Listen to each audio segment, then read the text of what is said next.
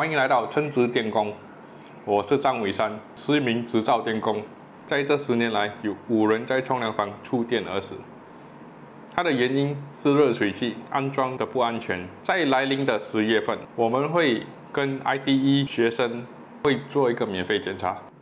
这个电路检查有三个项目。首先，第一个项目就是在你的屋子里面走跟看你的。电路是不是有没有安装的设备不齐全？第二项目我们会把你的热水器的开关打开，来检查里面的电线是不是合格的。第三样我们会去你的电箱做一个电阻力测量，这电阻力测量会告诉我们你的电线的寿命是好还是不好。请记得预约，谢谢你们的支持，再见。